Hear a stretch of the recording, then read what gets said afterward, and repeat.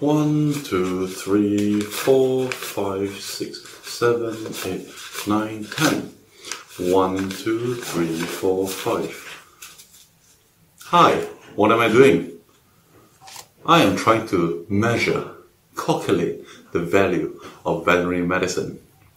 How do we calculate that? How do we measure that? How do we see that? What is the value of veterinary medicine? Is value only sort of simulated by numbers? How much money you earn? How much money you save? What sort of value are we giving? Um, today, I'm very, very excited to be presenting a 10 part series on my take on the value of veterinary medicine. In this series, I'll be discussing different aspects that relate to the value of veterinary medicine. We'll be answering questions like how are vets valued in this country? Are they perceived as animal magicians or animal doctors?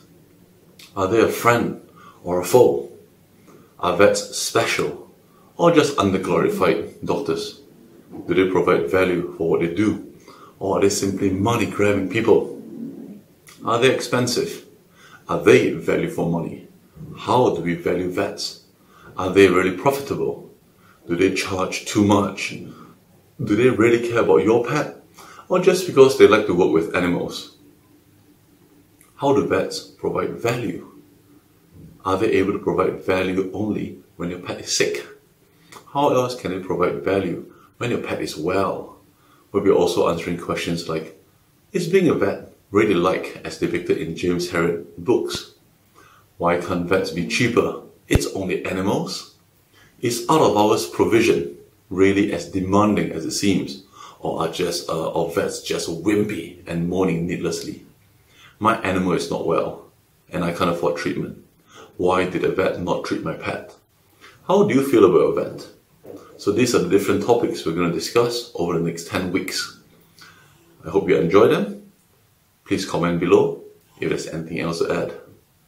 If not, here we go.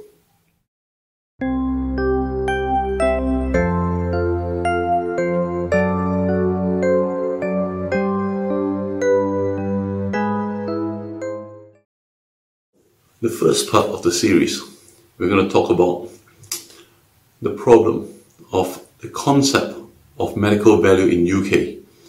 So in UK, there simply isn't a concept. Due to the amazing existence of the NHS, the majority of people in UK do not possess a poor concept of medical cost or value. Instead, they possess no concept of medical cost and value. Please do not misunderstand. I have nothing against the NHS. In fact, I love the NHS as it's provided me much help and assurance in times when I used it. It certainly provides a peace of mind knowing that our medical needs are covered. However, as it exists, it means the public does not understand how much it costs to provide a medical service. No prices or cost are ever discussed usually. There has been abuse of usage. It's all paid by the government. That is taxpayers' money. For example, pet owners may moan when a vet consult is £50, especially if only advice has been sought and no treatment is needed.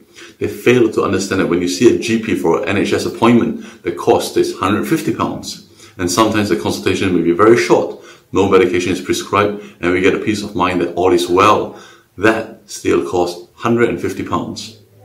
In veterinary medicine, there are times when no treatment is needed and advice is given, but a perception of not receiving any physical treatment, whether in forms of injections or tablets, no value can be perceived, and some owners, not all, may question the fee charged as nothing was done at all. Another perfect example will be hip replacements. A hip replacement for a dog or cat may range between four and a half, six thousand pounds, usually depending on size. That may seem like a hefty sum for some, but if only they knew that it cost the NHS £15,000 for hip replacement in a human.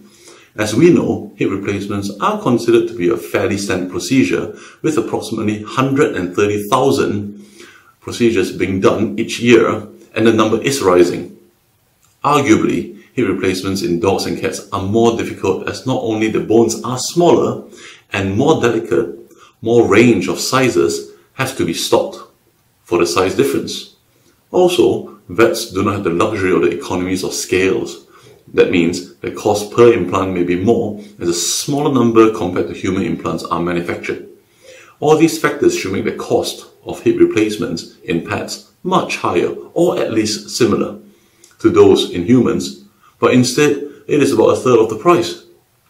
This is despite using similar anesthetic equipment, similar training, and similar implants. Isn't that interesting? It is not the fault of anyone for the lack of information. My personal suggestion would be for NHS to provide the patients and their families using their service with the invoice. I'm not saying they have to pay, but just to allow them to appreciate what the treatment had just cost. Surely it's better to educate us how much medical cost. Perhaps it may even allow more appreciation for this marvelous health, uh, this health system and will not take it for granted. Just a thought for those who would like to find out more, please do Google it and compare with your vet bills. Where is, who, who is more expensive? What is being done? Do we actually know what medical value is before we say something is too expensive? Very interesting thought.